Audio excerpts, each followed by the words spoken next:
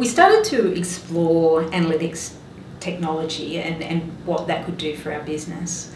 Uh, we were looking at everything from content generation, from machine learning, uh, right through to data mining our existing content sets to just get more out of it for our customers.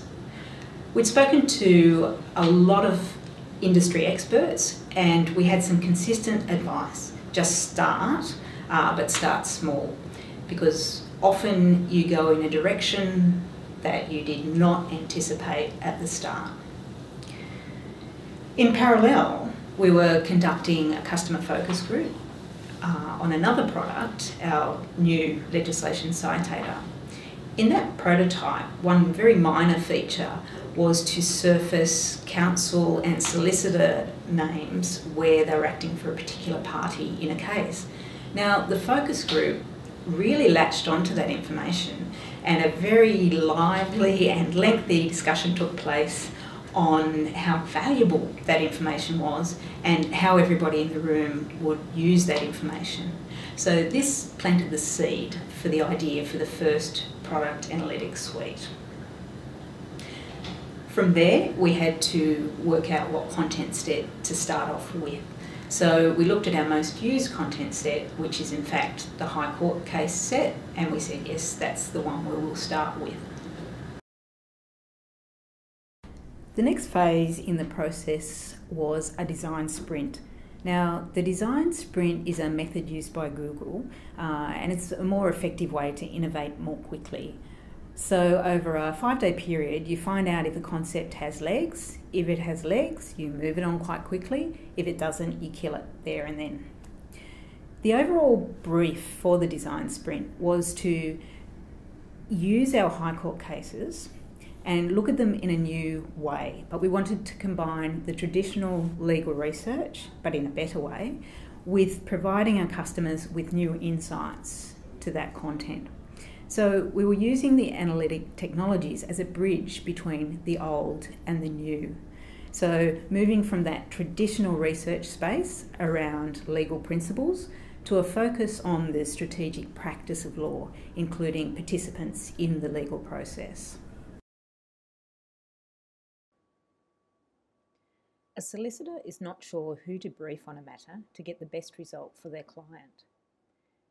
The dynamic filters allow the user to identify who is the most experienced counsel in a particular area of law.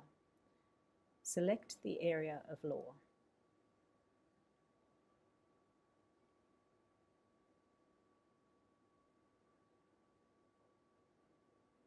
Select a barrister from the list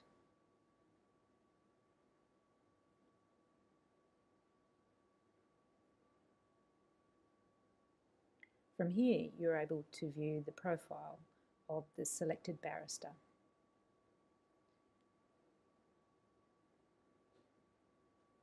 The solicitor can also obtain information on barrister experience in relation to a specific act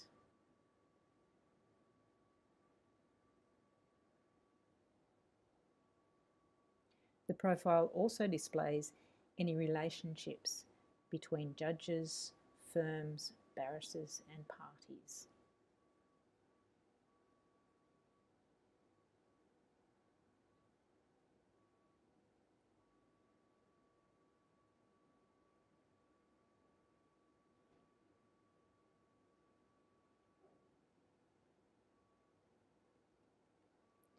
This software provides the customer with new ways to explore case law and assists in the move towards a more strategic practice of law, the business of law.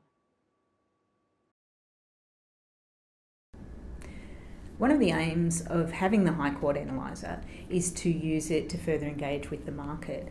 So, what features are of most value? What content sets do people want? Uh, explore the potential to partner with different organisations to provide a customised solution for them we'll be working with customers very closely on future developments, but now we have a reference point to talk with our customers about. One big advantage of the analytics infrastructure is the flexibility to build in a modular way. So, our next module that we're building, we haven't determined as of yet, but we'll be working in close collaboration with the market to work out what that is. But the initial interest has been greatly around judges, representation, and the insights around case outcomes.